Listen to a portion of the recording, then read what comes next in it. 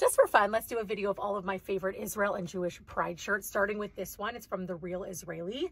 Love this shirt. I might have a few in the laundry, but these are the ones that are in the pile.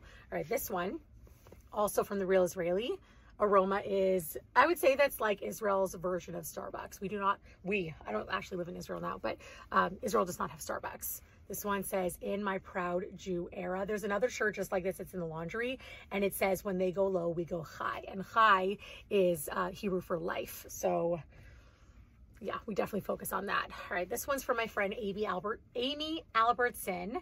Big gold energy. I love, love, love this shirt. It's so good. Great shirt. And she has that um, in her merch. This is from my friend Eitan Chetayit. I'm that Jew. I'm that Jew. Love it. All right, this one I got in Israel. It's an IDF shirt, classic. I'm gonna have to fold all those after. I just realized that. Uh, this one actually is really fun. I just got it. It says crave, munch, repeat, and it's from, on the back it's so cute. It says, uh, what's your crave? Crave is a restaurant in Israel and they just opened in my neighborhood. So very cool that they did that. All right, this is Mazel by Sarah, Proud Jew in the Barbie font.